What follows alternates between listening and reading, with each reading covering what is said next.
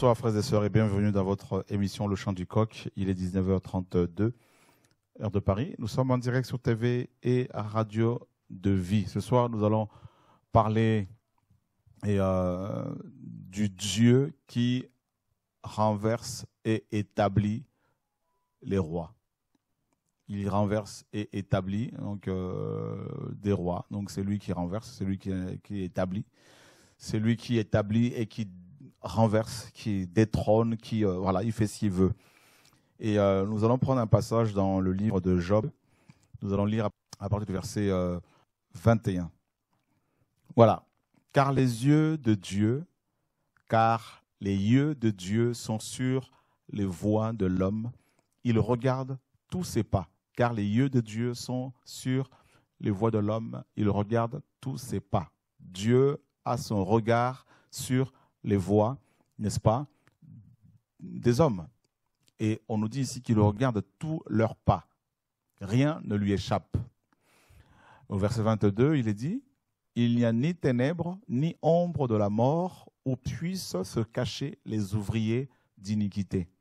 Donc il n'y a pas un endroit où les pécheurs, où les hommes peuvent se cacher, se dérober du regard du Seigneur. David disait dans, dans Psaume, Où irai-je loin de ton esprit? Si je monte au ciel, tu y es. Si je descends dans, n'est-ce pas, les profondeurs de la terre, tu t'y trouves.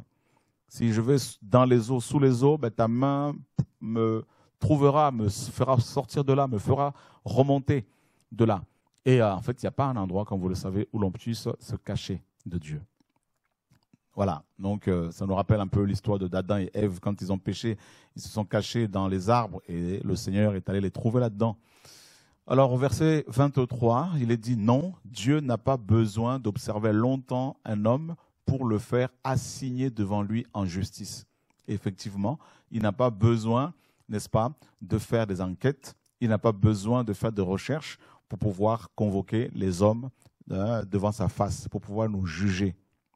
Et le verset qui nous intéresse, qui nous, à partir duquel nous allons partager ce soir la parole, l'évangile, c'est le verset 24 tout nous intéresse, mais nous voulons partager euh, ce soir cette, euh, ce court exhortation, euh, cette courte exhortation en se servant de ce passage-là. Il brise les hommes puissants sans faire d'enquête. Qui? Dieu. Il brise les hommes puissants sans faire d'enquête. Ça, c'est fort. Et il en établit d'autres à leur place. Alors, quand je lisais ce passage, c'était la semaine dernière, ça m'avait... Oh je lisais ce passage, ça m'a touché, ça m'a secoué dans tous les sens. Dieu nous dit la parole, n'est-ce pas, brise les hommes puissants sans faire d'enquête. oh Seigneur, ta parole est vraie. Et on nous dit qu'il en établit d'autres à leur place. Parce qu'il connaît leurs œuvres. Il les renverse la nuit et ils sont brisés. Parce qu'ils sont méchants il les frappe à la vue de tout le monde. Ah, chrétien, Dieu renverse des présidents, euh, des autorités, euh, des rois. Ou je dirais, il renverse les rois, les présidents, les autorités, sans faire d'enquête. Il n'a pas besoin que quelqu'un lui parle du comportement inapproprié d'un dirigeant. Non, il connaît tout, il sait tout, il voit tout, il surveille tous nos pas. Donc, c'est une parole qui doit normalement nous rassurer, nous qui souffrons à cause des comportements de certains dirigeants, de certains hommes politiques, de certains pasteurs, de certains prédicateurs, de certains euh, présidents. Oui, Dieu sait tout, Dieu voit tout, et il brise ces hommes à cause de leur méchanceté, et il en établit d'autres à leur place. Les Écritures sont claires ici. Et la parole nous dit, la parole nous dit, n'est-ce pas Parce que Dieu connaît leurs œuvres. Il les renverse la nuit et ils sont brisés. Et il les frappe à la vue de tout le monde. On va voir quelques images. Vous allez voir que cette parole est vraiment vraie. Il les frappe à la vue de tout le monde. Parce qu'ils se sont ainsi détournés de lui. Et qu'ils n'ont pas considéré, hein, qu'ils n'ont pas considéré ses voix. Ils ont fait monter le cri du pauvre jusqu'à lui. et qu'il a entendu le cri des affligés. Waouh Donc, quand un président, quand une autorité, quand un président, quand un ministre, quand un, euh, un roi maltraite un peuple, une population, son peuple tue son peuple, croyez-moi mes amis, croyez-moi, Dieu est au courant de toutes ces exactions, de tout ce comportement inapproprié. Dieu voit tout, il sait tout, il entend tout, il connaît tout. Il y a un temps où Dieu va décider maintenant de renverser la personne pour établir d'autres à euh, les personnes, hein, pour en établir d'autres à leur place. Et ça, c'est magnifique. C'est magnifique. Dieu est vraiment le roi des rois, le Seigneur des seigneurs. Alors, on va voir dans les Écritures d'abord comment Dieu a exposé hein, euh, euh, certains rois, comment il les a renversés pour établir, euh, en établir d'autres. Nous sommes dans Daniel chapitre 4. Daniel chapitre 4. On va descendre un peu par là-bas. Voilà. Daniel chapitre 4. Alors, on va lire à partir du verset 1er. Regardez bien ici. Le roi Nebuchadnezzar à tous les peuples, aux nations, aux hommes de toutes les langues qui habitent sur la terre, sur toute la terre. Que votre paix soit multipliée. Il m'a semblé bon de vous déclarer les signes et les merveilles que le Dieu très haut a opérés à mon égard. Oh, que ces signes sont grands et ces merveilles pleines de force. Son règne est un règne éternel. Il a reconnu ce monsieur. Il était un grand roi. C'était, on l'appelait même le roi des rois. Nebuchadnezzar est le seul roi de la Bible qui a été appelé parmi les hommes, hein, un roi humain que les Écritures ont appelé le roi des rois. Et sa domination subsiste de génération en génération. Je crois que son exemple peut servir d'enseignement à euh, nos autorités. Moi, Nebuchadnezzar, j'étais tranquille dans ma maison et heureux dans mon palais lorsque j'ai eu un songe qui m'a effrayé. Les pensées qui me poursuivaient sur ma couche et les visions de ma tête m'effrayaient. J'ai pris alors un décret afin qu'on fasse venir devant moi tous les sages de Babylone, afin qu'ils me donnent l'interprétation du songe. Alors les magiciens, les astrologues, les chaldéens et les devins sont venus. Je leur ai raconté le songe, mais ils n'ont pas pu m'en donner l'interprétation. À la fin, s'est présenté devant moi Daniel, nommé Belshazzar, selon le nom de mon Dieu, et qui a en lui l'esprit des dieux saints. Je lui ai raconté le songe. Belshazzar, chef des magiciens, comme je sais que l'Esprit de Dieu Saint est en toi et qu'aucun secret n'est contraignant pour toi. Dis-moi les visions, n'est-ce pas, que j'ai eues en songe et donne-moi son interprétation. Waouh! Voici les visions de ma tête pendant que j'étais sur ma couche. Je regardais et voici il y avait un arbre au milieu de la terre d'une grande hauteur.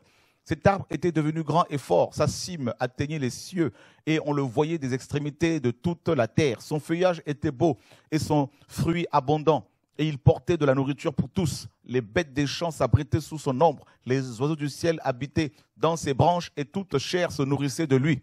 Dans les visions de ma tête que j'avais sur ma couche, je regardais, et voici un de ceux qui veillent et qui sont saints descendus des cieux. Il cria à haute voix et parla ainsi, coupez l'arbre et ébranchez-le, secouez son feuillage et dispersez son fruit, que les bêtes s'enfuient de dessous et les oiseaux du milieu de ses branches.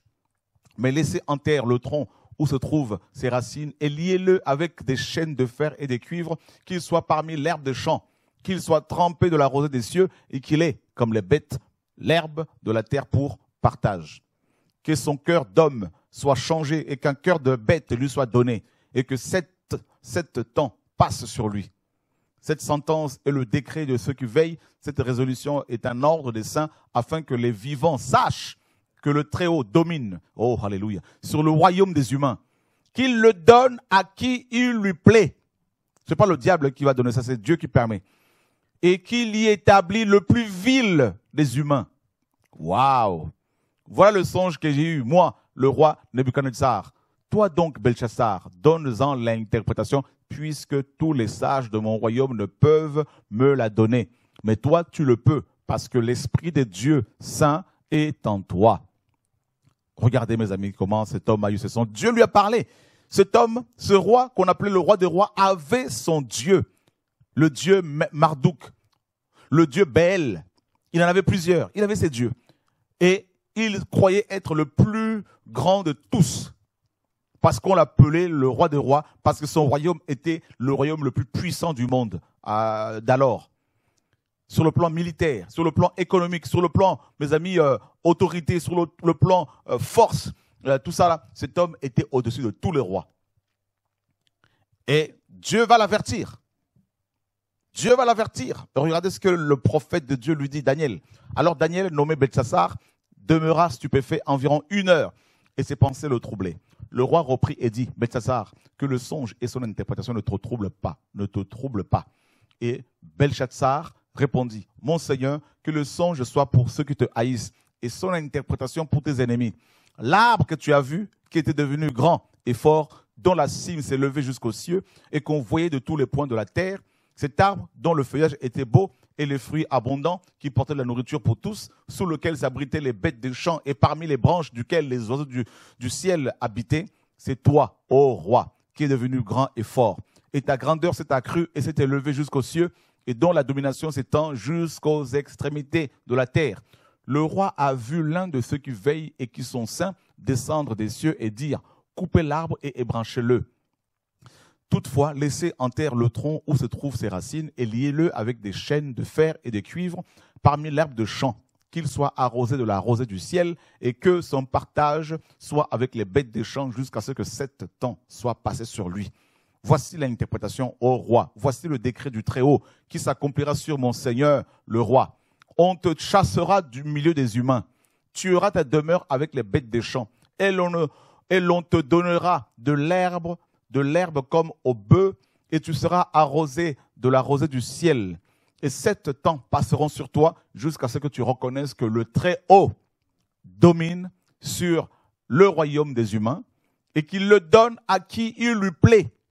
L'ordre de laisser le tronc où se trouvent les racines de cet arbre signifie que ton royaume te sera rendu dès que tu auras reconnu que les cieux dominent. Oh mon Dieu. C'est pourquoi, ô roi, que mon conseil, mon conseil te soit agréable. Rachète tes péchés par la justice et tes iniquités en faisant miséricorde aux pauvres. Voici, ce sera une prolongation pour ta prospérité. Toutes ces choses arrivèrent au roi Nebuchadnezzar. Au bout de douze mois, comme il se promenait dans le palais royal de Babylone, donc Dieu lui a donné quand même douze mois pour qu'il se repente. Dieu lui a accordé du temps, mais il n'a pas compris. Le roi prit la parole et dit, n'est-ce pas ici Babylone la grande que j'ai bâti pour, être la maison royale par la puissance de ma force et pour la gloire de ma magnificence. La parole était encore dans la bouche du roi qu'une voix descendit du ciel, disant, Roi Nebuchadnezzar, on t'annonce que ton royaume va être ôté. On te chassera du milieu, du milieu des humains. On te chassera du milieu des humains. Tu auras ta demeure avec les bêtes des champs. On te donnera de l'herbe à manger comme au bœuf. Et sept temps passeront sur toi jusqu'à ce que tu reconnaisses que le Très-Haut domine sur le royaume des humains et qu'il le donne à qui il lui plaît. Au même instant, la parole s'accomplit sur Nebuchadnezzar. Il fut chassé du milieu des humains. Il mangea de l'herbe comme les bœufs et son corps fut arrosé de la rosée du ciel jusqu'à ce que son poil croisse comme les plumes des aigles et ses ongles comme ceux des oiseaux. Mais à la fin de ces jours-là, moi, Nebuchadnezzar, j'ai levé mes yeux vers le ciel et la connaissance me revint. J'ai béni le Très-Haut, j'ai loué et glorifié celui qui vit éternellement, dont la domination est une domination éternelle et dont le règne subsiste de génération en génération. Tous les habitants de la terre ne comptent pour rien devant lui. Il agit comme il lui plaît avec l'armée des cieux et avec les habitants de la terre. Et il n'y a personne qui empêche sa main et qui lui dise, que fais-tu? En ce temps-là, la connaissance me revint et je retournai à la gloire de mon royaume. Ma magnificence et ma splendeur me furent rendues. Mes conseillers et mes grands me redemandèrent. Je fus rétabli dans mon royaume et ma gloire, fut augmentée. Et maintenant, moi, Nebuchadnezzar, je loue, j'exalte et je glorifie le roi des cieux, dont toutes les œuvres sont véritables et les voies justes, et qui peut abaisser ceux qui marchent avec orgueil. Waouh! Nous avons un exemple dans la Bible hein, d'un roi que le Seigneur a humilié parce qu'il a cru qu'il était devenu quelqu'un. Dieu l'a foudroyé, Dieu l'a frappé. Nebuchadnezzar, le roi de Babylone. Il dirigeait un empire terrible, un grand empire qui regroupait plusieurs pays, plusieurs nations. Voyez Allons voir le deuxième roi dans les Écritures. Nous sommes dans Actes chapitre, euh, mes amis, 12. Euh, Actes chapitre, chapitre 12. Voilà. On va descendre. Donc le roi Hérode qui a beaucoup maltraité les, chrétiens, qui les a fait euh, exécuter, tout ça. Le verset 20. Hérode avait le dessein de faire la guerre aux Tyriens et aux Sidoniens. Mais ils vinrent le trouver d'un commun accord et, ayant gagné Blast, son chambellan, ils demandèrent la paix parce que leur pays tirait sa subsistance de celui du roi. À un jour marqué, Hérode, revêtu de ses habits royaux, s'assit sur son trône et adressa un discours au peuple. Le peuple s'écria, c'est la voix d'un Dieu et non d'un être humain.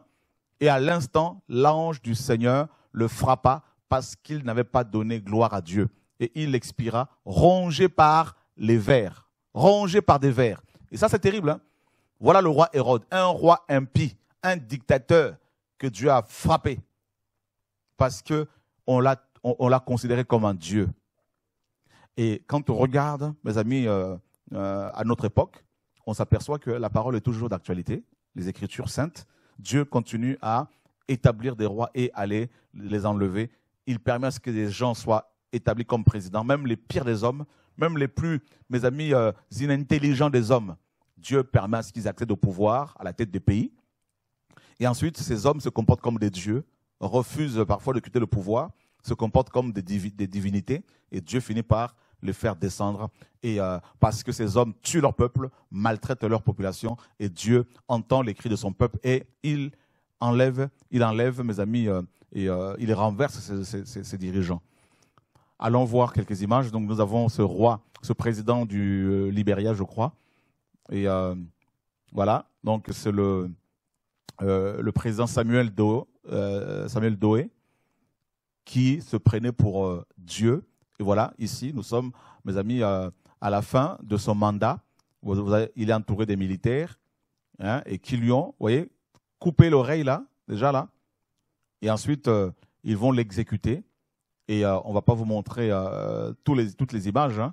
mais voilà. Donc, un président, hein, à notre époque, président du, Libéria, Samuel Doé, et qui va être euh, exécuté. Voilà, parce qu'il a maltraité sa population, il a tué son peuple et il a été adulé, on l'a pris pour un dieu et, euh, voilà comment il a fini. Et je crois que les autres, les les autres autorités euh, doivent tirer de leçons de, de toutes ces choses qui, hein, qui, sont arrivées à ces dirigeants du passé. Et parce que Dieu n'a pas changé. Dieu est le même hier, aujourd'hui et éternellement. Voilà. Un bon dirigeant doit être capable de prendre soin de son peuple, des pauvres, des orphelins, des veuves. Il doit être capable de donner à manger à son peuple parce qu'un président digne de son nom, un roi digne de son nom est comme un père de famille.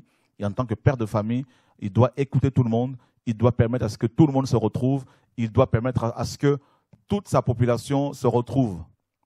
Voilà, il doit, n'est-ce pas, encourager les, initiatives et euh, donner de la nourriture à tout le monde. Il doit, n'est-ce pas, se servir des richesses de son pays pour enrichir son peuple, enrichir les orphelins, les veuves.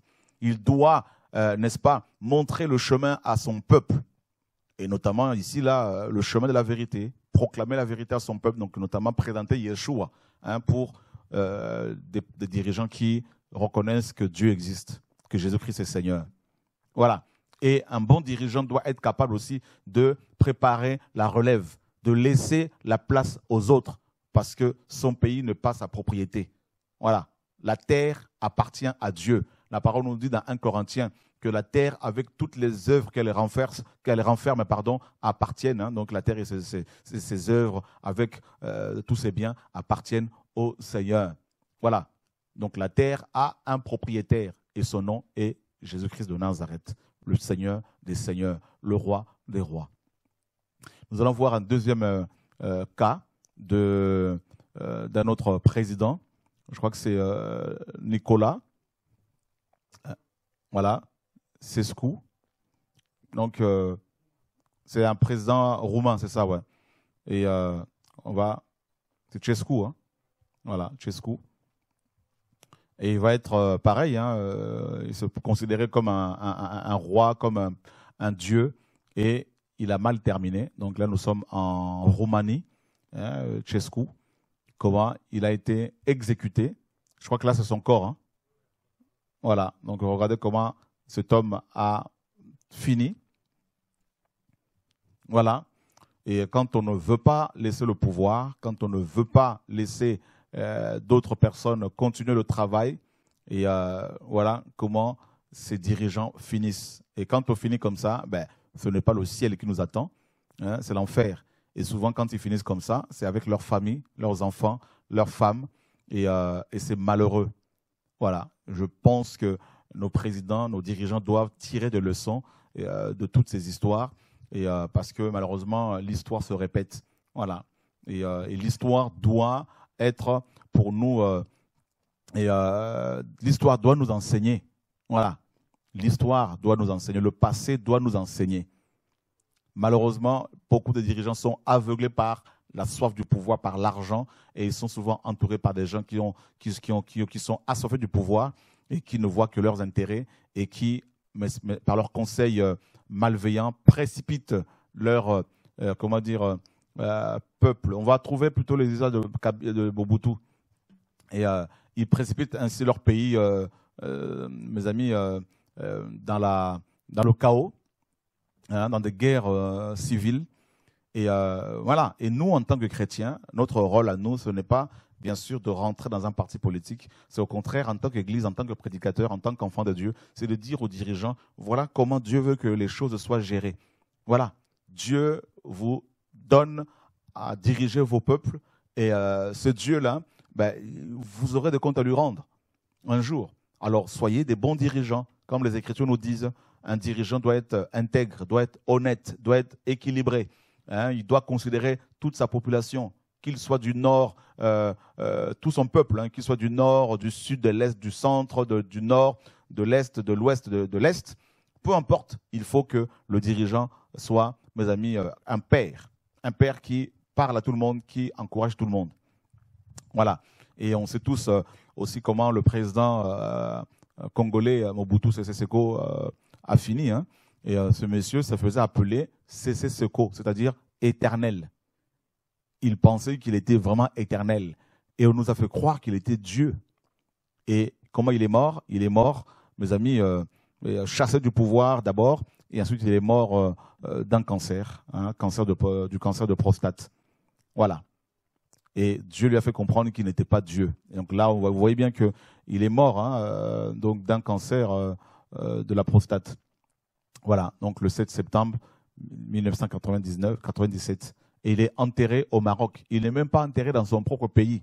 Il est toujours, mes amis, son corps est toujours au Maroc. Pourquoi? Parce que, eh ben, parce que il, il, a massacré sa population, il n'a pas éduqué son peuple et, il s'est accaparé du pouvoir et il a cru qu'il était Dieu. Seul Dieu a un pouvoir éternel. Seul Jésus-Christ possède le pouvoir éternel nous les humains, là, nous sommes, euh, mes amis, euh, dans le temporel. Et euh, donc c'est pour cela que les dirigeants doivent être capables de former les générations futures, de laisser les enfants qu'ils ont formés continuer le travail et ne pas s'éterniser au pouvoir parce qu'ils finissent mal. S'éterniser au pouvoir, c'est chercher sa propre mort. Voilà, il faut être un, des dirigeants capables de laisser, euh, n'est-ce pas, et, euh, euh, des bons témoignages, de marquer son temps, de marquer sa génération. Et voilà, on peut être président pendant un, euh, cinq ans et laisser la place aux autres et continuer à être, n'est-ce pas, dans son pays pour donner des conseils aux nouveaux euh, présidents, aux nouveaux dirigeants, être consulté comme un sage, comme, comme un, vieillard, comme quelqu'un qui a de l'expérience, qui peut aider son pays à aller de l'avant. Voilà. Donc, euh, mais quand on se comporte comme un, comme un, comme un, comme un Dieu, eh ben, Dieu qui nous a créés, Yeshua, Jésus-Christ, finit par nous faire comprendre que nous sommes des humains. Voilà, c'était juste une exhortation pour, n'est-ce pas, donner un conseil aux dirigeants, aux rois, aux présidents, aux ministres, aux autorités. Hein, c'est juste pour vous dire que Dieu vous aime, que Jésus vous aime, nous ne sommes pas là pour nous engager dans la politique, mais nous, en tant qu'Église, nous vous donnons des conseils venant de Dieu. Ce livre que j'ai entre mes mains, donc euh, ce livre-là, la Bible, est un livre inspiré de Dieu. Lisez l'histoire. Il y a des grands rois qui ont été confondus. Il y a des gens qui vous ont précédés, qui sont morts, qui pensaient être éternels. Soyez de bons dirigeants, aimant euh, les, les, uns les autres, encourageant les uns les autres et, euh, et laissant aussi la nouvelle génération poursuivre le travail que vous avez initié. Sachez qu'en tant que dirigeant, si vous tuez, le sang de ces âmes que vous tuez continue de crier devant le Seigneur et Dieu ne garde pas, ne tient pas innocent les coupables. Et il finit par, n'est-ce pas, nous juger. Dieu vous aime. Dieu vous appelle à la repentance. Dieu vous appelle à la raison et travailler pour le bien de vos peuples. Et surtout, sachez que au-dessus de vous, il y a le roi des rois, le Seigneur des seigneurs, le Dieu des dieux, dont le nom est Jésus-Christ de Nazareth. Même si certains d'entre vous ne croient pas en Dieu, sachez que Dieu existe. Voilà. Alors, que le Seigneur soit béni.